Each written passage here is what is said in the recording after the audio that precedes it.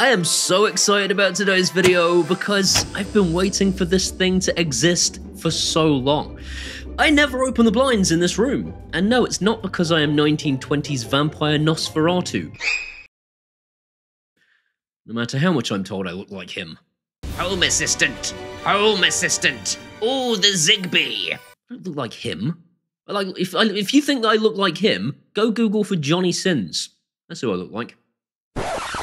Don't, don't Google for Johnny Sins. The reason I wanted this device is because I'm lazy. I've been waiting for so long for a device that could do this.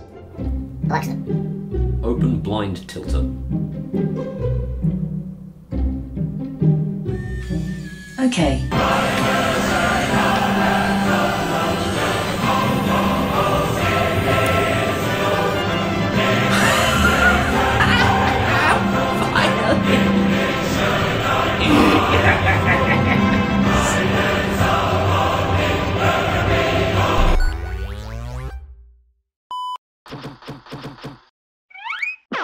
Thanks to SwitchBot for sponsoring today's video and for sending me their brand new SwitchBot blind tilt motor.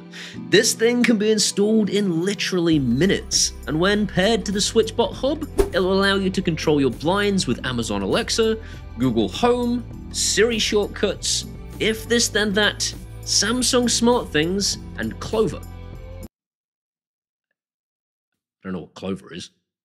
I thought it was a butter substitute. We all love Clover. There's one thing we've learned. was a man moved to tears by vegetable fat. For Google Home, Samsung SmartThings, and Siri shortcuts, you can also set the blinds by percentage. So I can actually say set the blinds to 20%. And on top of this, you could also control the blinds using a SwitchBot button or an NFC tag, because the scenes are that powerful. But if you don't want all that voice stuff, these things will still work without a hub using their app. And if you program a schedule into this thing, it will still operate even if your internet goes down. They come with a solar panel, so there's no wiring involved, and they have an ambient sensor to allow you to open and close the blind when the sun goes up and down. Amazing. In the box, there is a motor. Kind of reminds me of Amazon CEO Jeff Bezos for some reason. It comes with a lengthy charging cable if you would prefer not to use the solar panel, a mounting bracket, the solar panel itself. Ooh, hello. Hello. I had no idea it could be solar powered. It's even better than I first imagined. And some bits to attach the motor to your wand. It also comes with this stupid booklet for some reason, which I immediately threw away, because as we all know, I am tremendous at DIY. So stressful. Stop dropping that, you prick! No! Stop dropping it! Back is cramping up and I've dropped it again!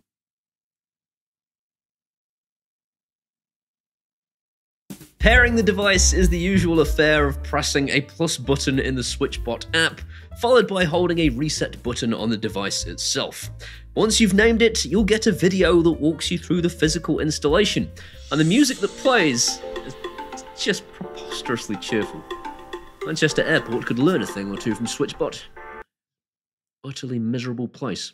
Your holiday is over. Get out. Your holiday is over. Get out. Your holiday is possibly the most hateful place on earth. But I digress. The first thing you need to do is measure your wand simply by wrapping their alignment sticker around it. Like, uh, like an extra large wand. Oh, yeah! That's what she said. It's not sexual, stop it. Once you've established how big your wand is, Oh, yeah! stop it. You take the appropriate sized adapter and use it to adjust the gear to fit your wand so it is a more snug fit in the cavity. Oh, yeah! Stop it. In my case, I have a much bigger than average size wand. Oh. Stop it. So I've used the XL sheath, stop it, to make it nice and tight. Oh, yeah! No! Hello? Yes, YouTube again. Yes, please. Y- He's at it again. It's absolutely disgusting. My child is watching this. Wow. Week after week, it's the same old smut, and week after week, I tune in with my child and sit and watch it. It's disgusting. I don't think there's anything I could possibly do about it.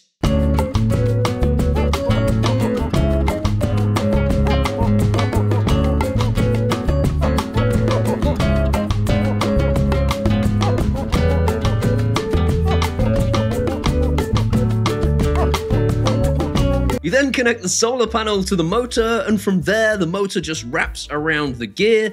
You stick the mounting bracket to the blind casing, wrap the cable around and through the back of your blind, and then stick the solar panel to your window. Bob's your uncle. Once you've got the physical setup done, it's simply a case of calibrating the motor. The app will walk you through this, and all you have to do is wind the wand to the positions that it tells you to in the app, and from there, it just works. It just works! In case you're thinking this is quite a joke heavy episode, it's because last week somebody told me there were too many jokes in the episode. Don't, don't tell me that. Don't tell me that. The motor keeps tabs on you, and this is genius. If you've twisted it manually, it realizes and accommodates for your caveman. It doesn't matter how many times you twist it, it figures it out. On top of this, my blind has an awful lot of play in the wand. I can twist this a whole bunch of times and nothing happens. Switchbot magically somehow figures out exactly how many turns it needs before it reaches full tension. It just works. It just works!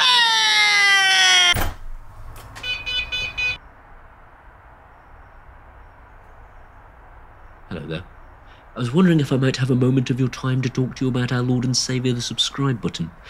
If you don't press it, your eternal soul will go to hell. Damnation. Press it. Press it. Press it. It has performance mode and silent mode. Both are noisy. It, it there's no such thing as silent mode when you come to a motor trying to wind a blind. Unfortunately, you're going to expect a bit of noise. It sounds a bit like this.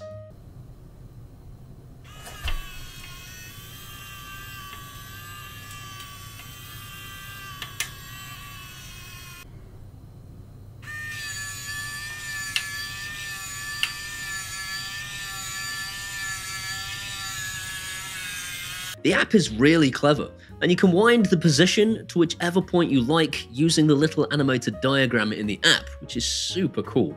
And even create three customized positions so that you can just hit a button instead if you prefer. The solar panel has a light sensor on it, and this is super clever too, because you can create automations that will close the blinds when the sun goes down and open them again when the sun comes up. Just so clever. So bear in mind, I am beta testing this thing. I mean, it's not it's not even out yet. You can go and join the Kickstarter campaign right this second and get it for cheaper, I assume. I don't, I don't actually know how much it's going to cost when it comes out, but it's $69 at the moment. Not sure that works out in pounds, and the link is in the description. I would go and get one now whilst you can get it at that price. So the first of these very small problems is that the solar panel cable is just long enough to reach my window.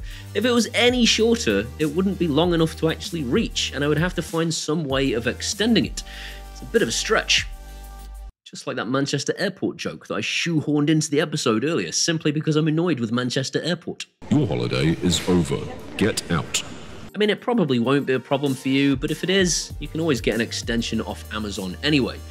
And that's kind of it. The only other thing I can think of really is that the Home Assistant integration for me, I can't get it working. I mean, it exists, but just can't, can't do it. It's perfectly simple. All you have to do is add the developer key, the access token, and the device's MAC address to your configuration.yaml file, and then add a virtual device to Have sex with somebody. Uh, if you're in my comment section right now giving me grief how it's so easy, it's not easy. Please, please go and have sex with somebody, please.